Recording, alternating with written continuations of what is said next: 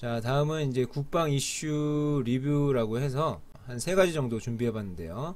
어, 한번 보시겠습니다. 저번 주에 이제 기동 화력 시험은 끝났는데요.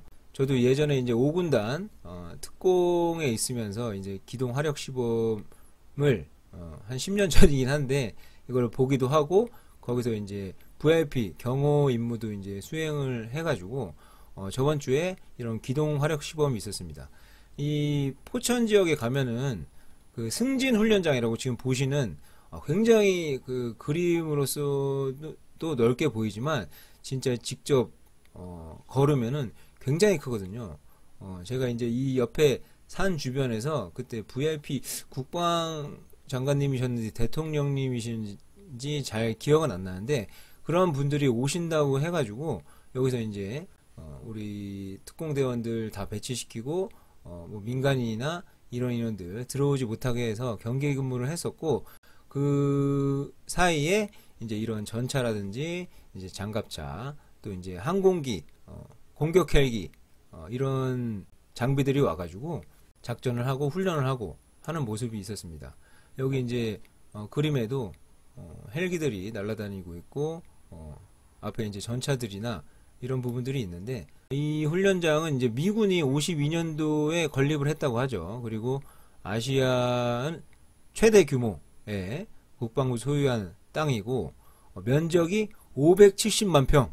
어, 강남구 비교를 하자면 이렇게 얘기해서는 이제 잘 모르실 수 있으니까 강남구 그 강남구의 절반 크기의 땅 전체가 이제 훈련장인 셈이라고 합니다. 예, 굉장히 크죠. 저도 이 진짜 아까 말씀드렸듯이 요 침투를 하다가 요 끝에서 나왔는데 여기까지 이제 걸어서 이제 복귀를 하는데 어, 굉장히 크더라고요. 예. 그래서 이제 기가 기계화 보병이라든지 뭐 전차, 어, 방공, 공병 부대들이 주로 훈련을 하고 아까 보셨던 이제 헬기들이나 이런 그 장비들이 와서 어, 기동 화력 시범을 할 때 같이 하기도 하고 이번에는 다련장 포까지 어, 사격을 하는 그런 장대한 풍경이 또 이루어졌다고 합니다. 아, 한 2010년인가 12년 그때는 이제 일반인한테도 관광으로 좀 개방이 됐었는데 어, 지금은 어, 개방을 하지는 않고 있는 상황입니다. 네, 전투 장비가 23종 또 126대 장병 600여 명이 참가를 했었습니다.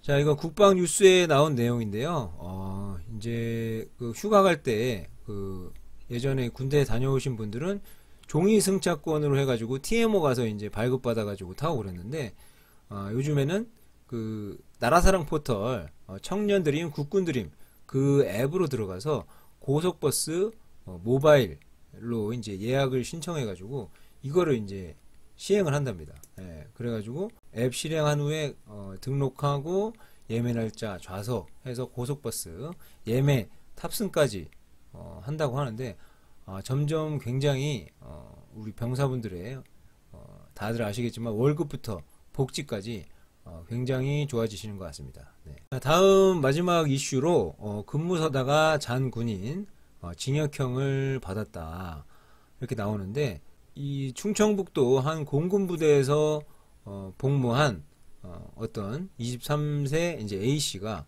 어, 근무 시간에 자가지고 징역 4개월에 어, 집행유예 1년을 어, 선고를 받았다고 합니다. 보니까 어, 초소에서 한 번이 아니고 어, 세 차례 어, 잠을 잔 이제 혐의를 받고 있고 어, 후임병한테 이제 망보라고 하고 어, 좀 후임 요즘에도 참 이런 분들이 참 계시다는 게 아 정말 그 군대는 정말 변하기 쉽지 않나라는 많이 변했다고 이제 생각을 하는데 그래서 어떤 분들은 이제 군대에서 이제 폭행, 구타, 뭐 가혹행위 이런 거는 이제 거의 없다라고 하는데 이런 거 보면은 참 아직도 어느 구석에는 그런 이제 구타나 가혹행위 이런 게 있을 것 같아가지고 이런 부분들이 자꾸 보도되면 이제 부모님들이 이제 걱정을 많이 하게 되시잖아요. 그래서 참 간부들이나 병사들이 좀 더 정신을 차리고 어, 군 생활을 어, 다 그런 거나 대부분 안 그럴 거라 생각합니다. 예.